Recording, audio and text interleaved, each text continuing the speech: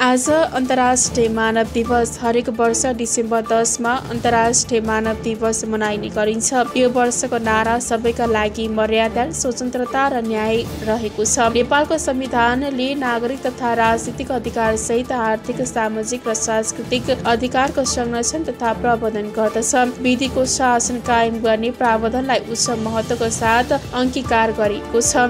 सन् उन्नाइस सय अडचालिस डिसेम्बर महिनाको दस तारिकका दिन विश्व विश्वव्यापी मानव अधिकारको घोषणा भएको स्मरण गर्दै प्रत्येक वर्ष यो दिवस मनाइने गरिन्छ। मानव अधिकारको विश्वव्यापी घोषणा पत्रमा जारी भएको दिन सन् उन्नाइस सय अडचालिस डिसेम्बर दस तारिकलाई आधार मानेर दिवस मनाइने गरिन्छ।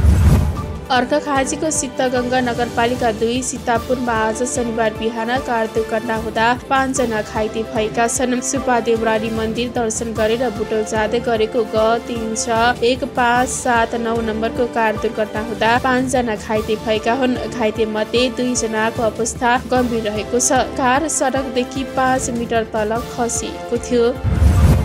प्रधानमन्त्री रोजगारी कार्यक्रममा दर्ता हुने बेरोजगारीको सङ्ख्या बढिएको छ गत वर्षभन्दा यस वर्ष सो कार्यक्रममा दर्ता हुने बेरोजगारको सङ्ख्या एक लाख तेत्तिस हजार बढेको हो प्रधानमन्त्री रोजगार कार्यक्रमका अनुसार गत आर्थिक वर्षको सात महिनामा प्रधानमन्त्री रोजगार कार्यक्रममा सात लाख आठ हजार दुई सय पैँतालिसजना युवा दर्ता भएकोमा चालु आर्थिक वर्षमा अहिलेसम्म यो सङ्ख्या बढेर आठ लाख एकचालिस हजार पाँच सय तिन पुगेको 그.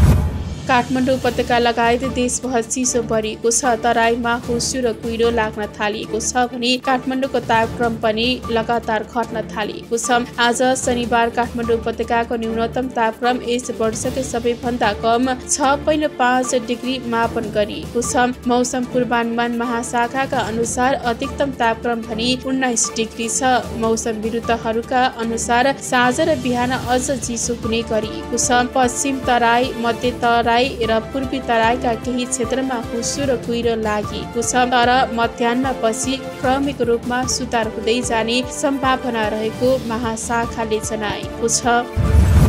कतारमा जारी फिक्का विश्वकप फुटबलमा आज शनिबार क्वार्टर फाइनलमा अन्तिम दुई खेल हुँदैछ। शनिबार हुने पहिलो खेल तथा तेस्रो क्वार्टर फाइनलमा मोरक्को र पोर्चुगल बीच प्रतिस्पर्धा हुनेछ।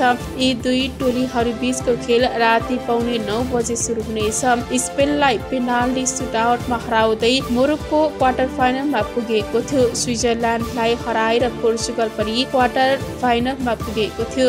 यस्तै अन्तिम क्वार्टर फाइनलमा साबिक विजेता फ्रान्स र इङ्ल्यान्ड बीच प्रतिस्पर्धा हुनेछ। यी दुई टोली बीचको खेल राति पाउने एक बजी सुरु हुनेछ।